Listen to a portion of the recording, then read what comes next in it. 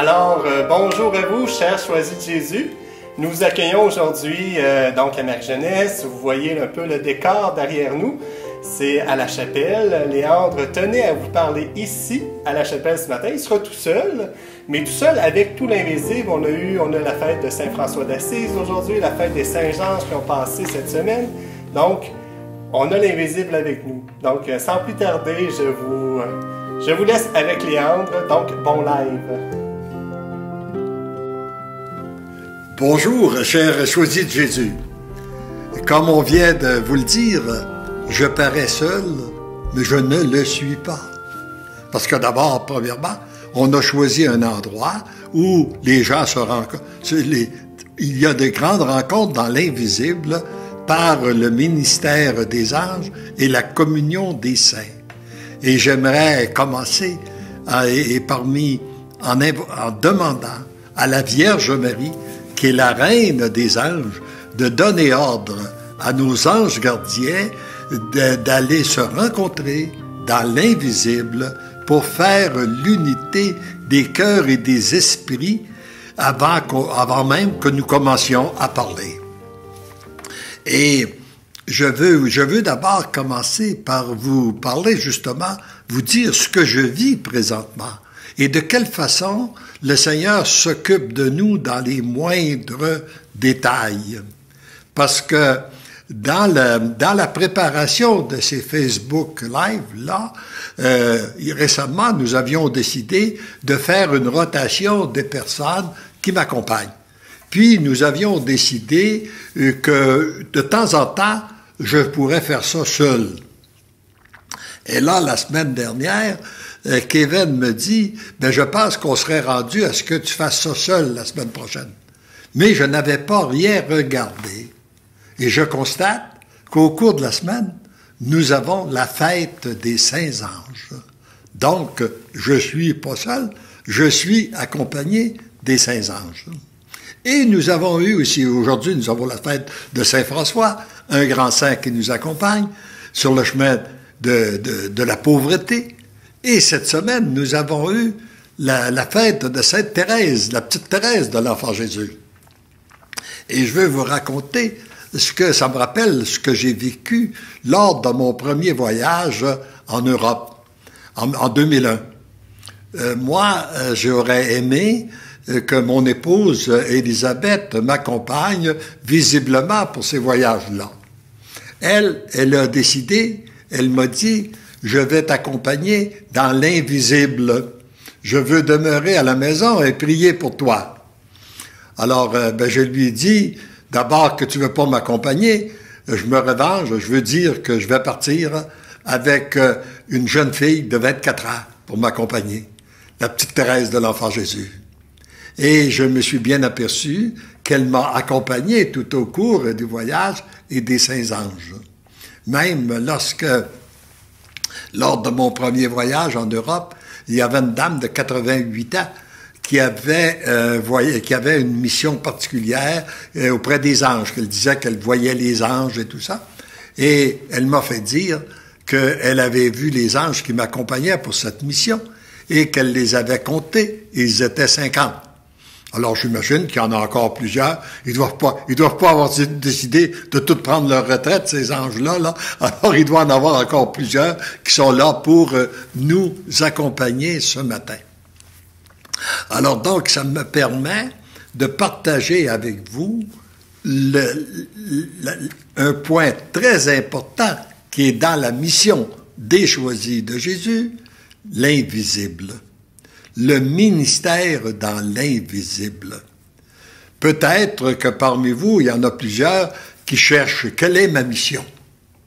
Qu'est-ce que je, vois? Je suis comblé, moi, parce que j'ai donné mes oui au Seigneur, je suis comblé et je voudrais faire quelque chose pour lui. Et là, vous cherchez votre mission. Mais votre mission, elle est d'abord dans l'invisible.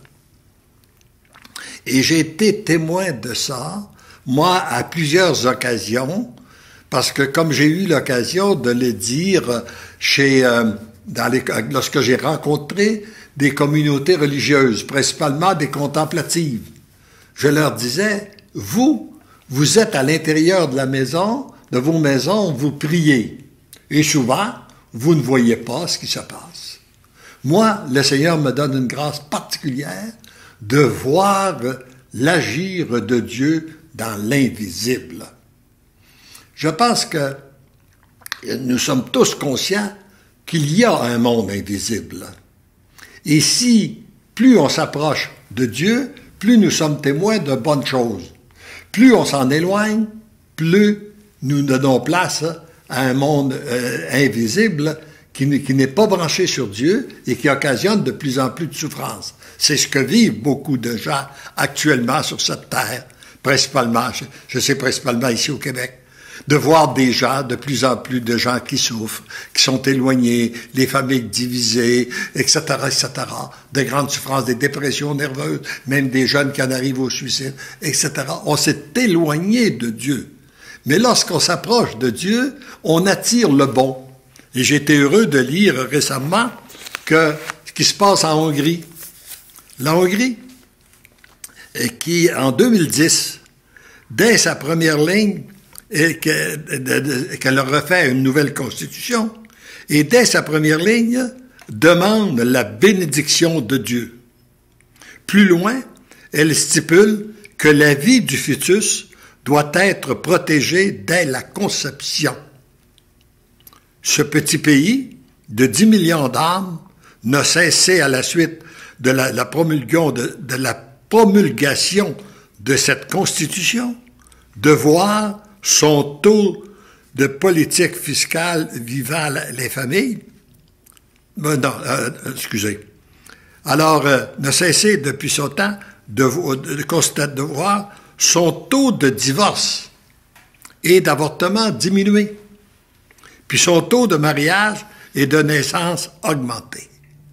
Alors donc, voyez-vous, si on s'approche de Dieu, nous sommes témoins de bonnes choses. Si on s'en éloigne, nous sommes témoins de l'inverse.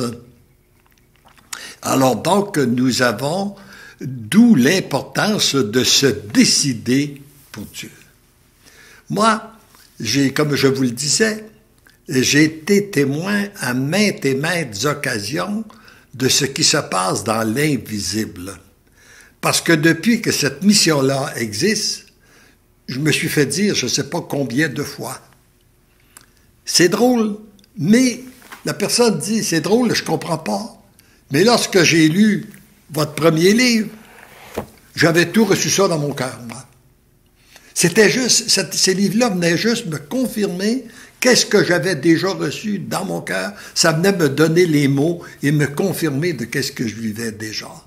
Voyez-vous, le Seigneur avait préparé les terrains, a préparé les cœurs. De la même façon que nous recevons régulièrement des gens qui nous disent, en lisant la passée du jour, c'est drôle, mais on dirait qu'elle est écrite juste pour moi. Parce que je dis quelque chose une journée, puis le lendemain, j'ai la réponse à travers la pensée du jour. Donc, voyez-vous, c'est que le Seigneur agit. Et euh, parmi les principaux points où j'ai vu euh, l'agir de Dieu aussi, qui m'a peut-être le plus marqué, je pourrais vous en raconter pendant des heures et des heures, mais les points que j'ai principalement retenus, c'est que lorsque je suis passé en Italie, il y a un policier qui est parti de l'extrême sud de l'Italie pour venir me rencontrer. Et lorsque je lui ai demandé son cheminement de foi, il m'a dit, j'ai reçu ça directement du ciel. Moi, je suis né dans une famille euh, euh, qui faisait partie d'une secte.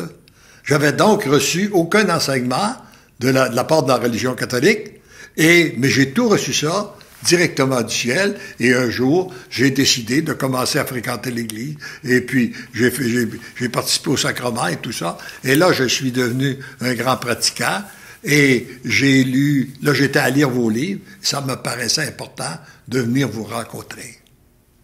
Quand je suis passé à Berlin, euh, il y a une dame qui venait de l'Allemagne de l'Est, sur le régime communiste, qui avait vécu sur le régime communiste, et qui assistait à la conférence. Et quelques jours plus tard, je donne une retraite près de, Berlin, euh, près de, euh, le nom là, en tout cas en Allemagne, je, suis loin de là. Et puis, elle me dit, elle, vient, elle arrive à la retraite pour me dire, ben, j'ai, quand je vous ai écouté, je pensais que j'étais seul, moi, à, penser comme ça.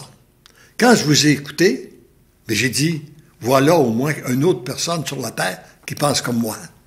C'est important que je vienne vous rencontrer pour, pour, bénéficier davantage de ce que vous avez à nous dire, parce que ça, ça confirme tout ce que j'ai reçu dans mon cœur. Un autre tantôt, euh, il y a un type qui vient me voir et puis euh, qui me demande de me rencontrer.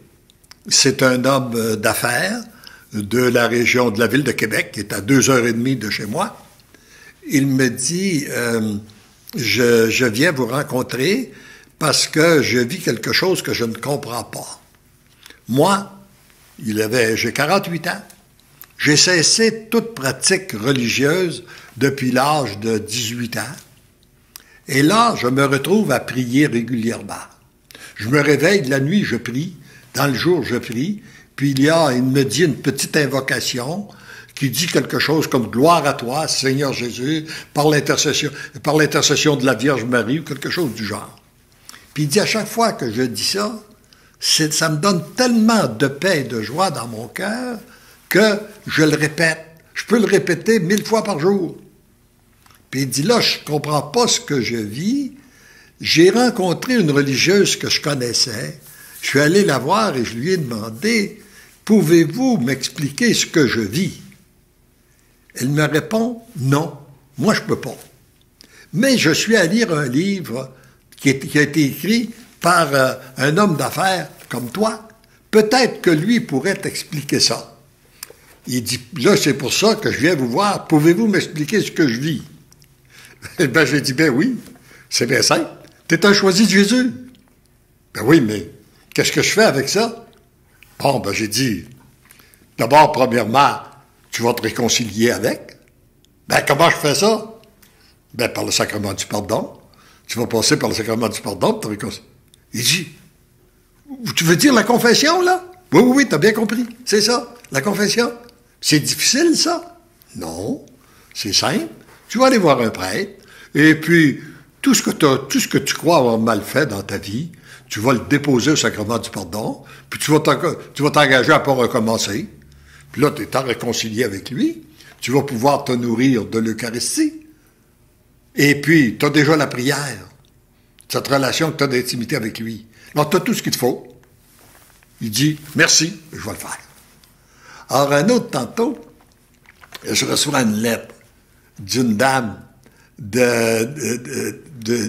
américaine des États-Unis qui me dit, moi, je suis converti, puis j'ai jamais compris qu'est-ce qui s'est passé. Parce que j'étais une femme du monde. Et pour moi, je n'avais pas besoin de Dieu dans ma vie, puis je voulais rien savoir de l'Église. Et un jour, en passant, vis-à-vis d'une église, je suis comme poussé d'y entrer. J'y suis entré.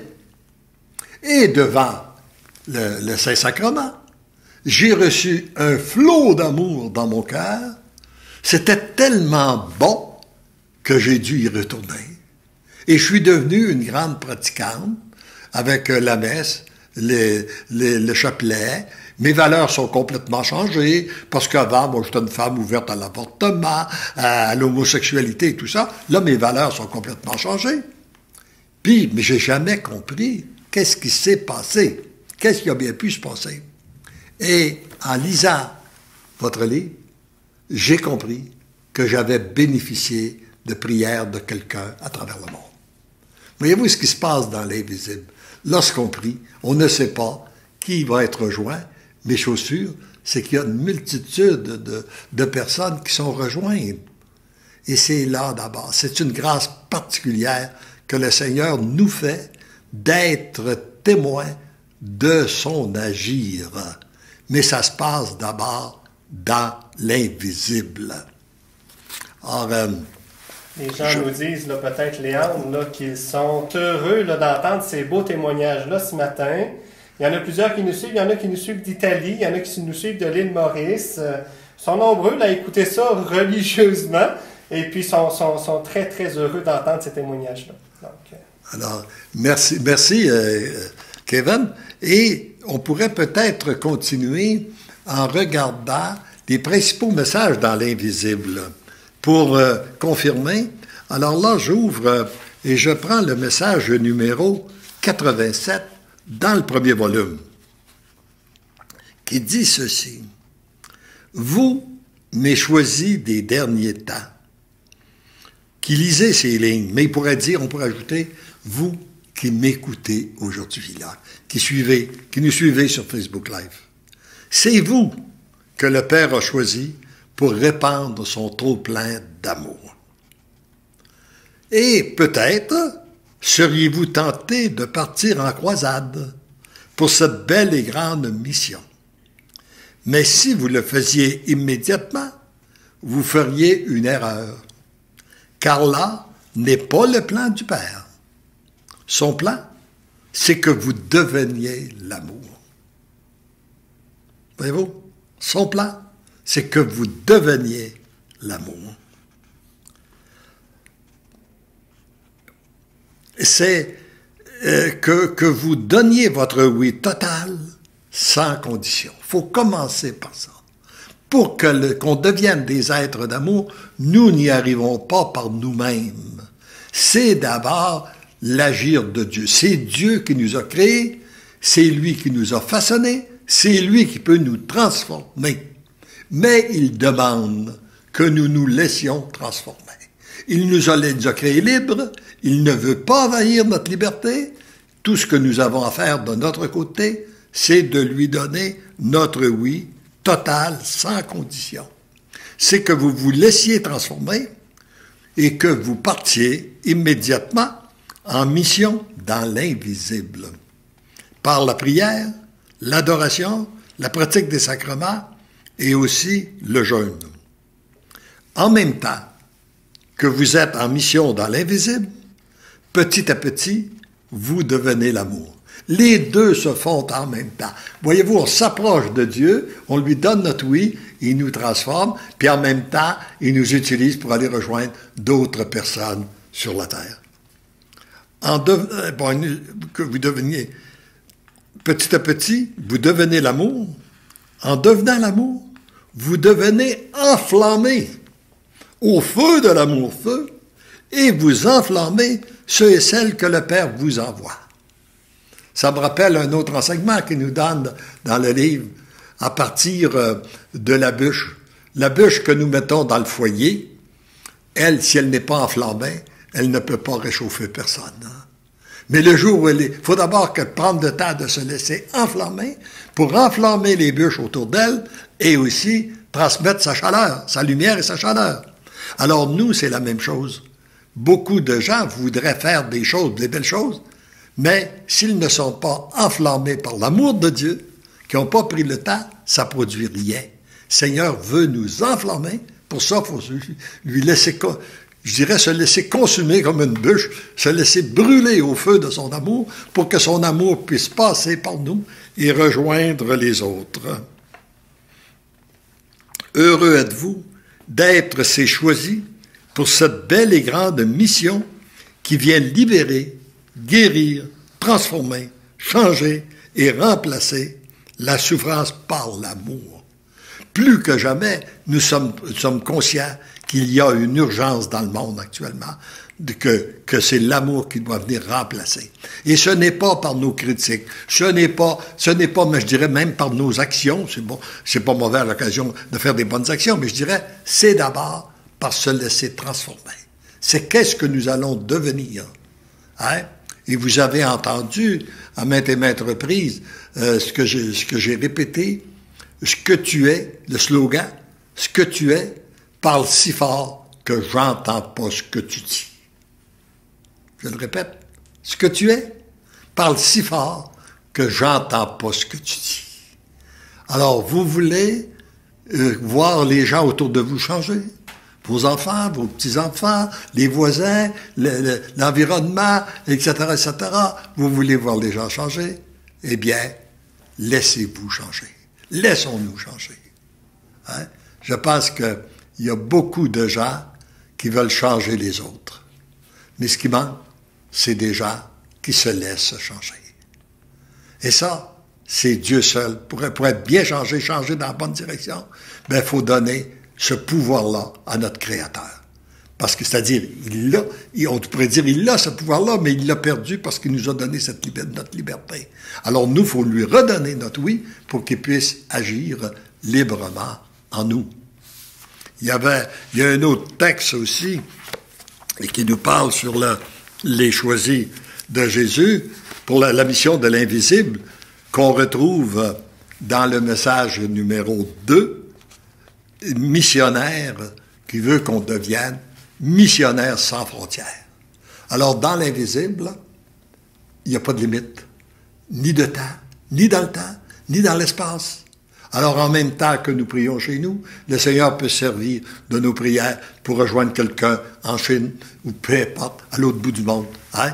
Alors, il leur dit, mais tout petit, mon tout petit, je veux m'adresser à tous les missionnaires parce qu'actuellement, il y a besoin de beaucoup de missionnaires dans cette mission-là. Toi que j'ai choisi pour une belle et grande mission, souviens-toi que mon plus grand désir vis-à-vis toi, c'est l'intimité que nous avons ensemble. Voyez-vous, la, partie la plus importante dans notre vie, c'est l'intimité que nous avons avec notre Seigneur. Hein? On parle du ministère des anges parce que, oui, le ministère des anges est important, mais dans la mesure où les, les, anges que nous voulons utiliser sont branchés sur le Seigneur. C'est Dieu. Parce qu'il y a des anges qui sont pas branchés, qui peuvent, produire des choses aussi. Mais là, c'est un, danger qui nous guette. Alors donc, il faut rester branché. Bon. Puis euh, l'importance, nous, d'avoir toujours un temps d'intimité avec le Seigneur, dans la prière, par la pratique des sacrements, etc. Euh, bon. Nous avons. Alors ici, ici, dit Mon plus grand désir vis-à-vis toi, c'est l'intimité que nous avons ensemble, toi avec moi, moi avec toi, toi en moi et moi en toi. Voyez-vous l'unité qu'il veut faire. Comme, il a dit d'ailleurs dans, une de ses prières Père, faites qu'il soit un avec moi, comme je suis un avec toi. C'est pas petit, là. C'est une prière extraordinaire quand on s'arrête à penser à la grandeur de cette mission-là, de ce geste, cette demande-là de Jésus, qu'on soit aussi unis avec lui qu'il est uni au Père. Quand on sait qu'ils sont tellement unis l'un à l'autre que quand Jésus parle, on ne sait pas si c'est lui ou si c'est le Père qui parle. Alors c'est cet même esprit d'unité qu'il veut faire avec chacun de nous. Puis là, il ajoute, merci de m'avoir donné ton consentement. Merci de reconnaître ta petitesse. Merci d'accueillir l'amour que le Père déverse continuellement dans ton cœur. Merci d'être et de devenir de plus en plus ce petit commissionnaire de mon amour.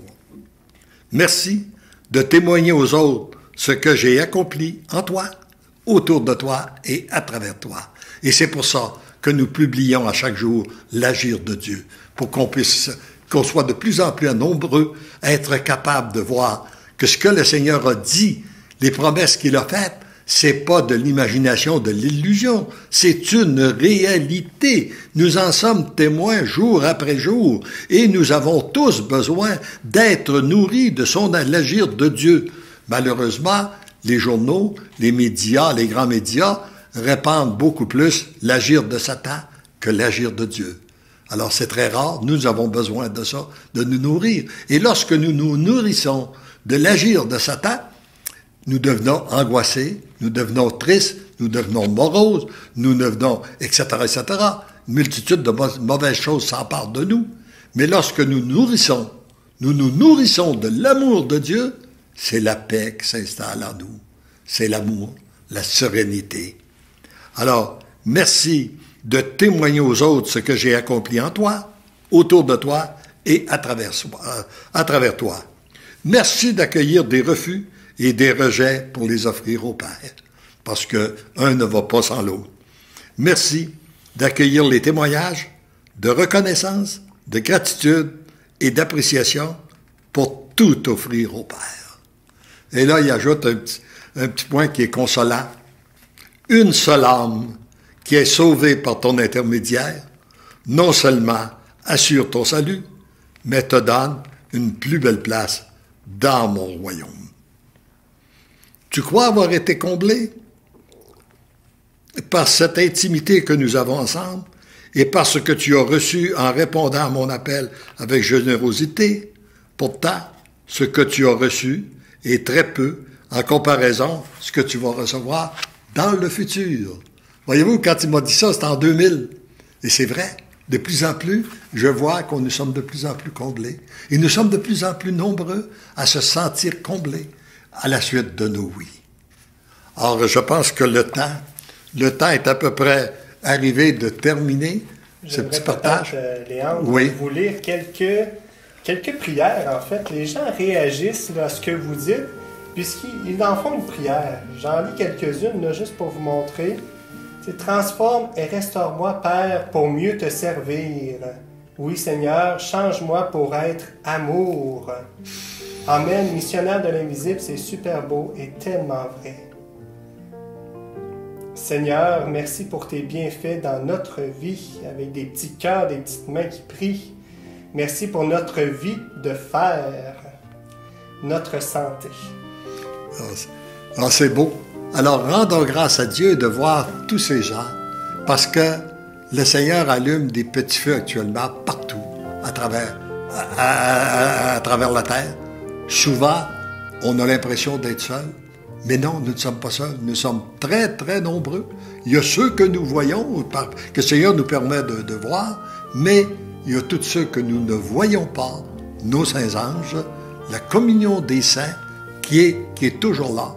Et c'est ce que je, je, demande en terminant, que vous puissiez tous, que nous puissions tous, de plus en plus, être témoins de son agir. Et n'oublions pas, parce que l'amour nous aime, nous devenons des êtres de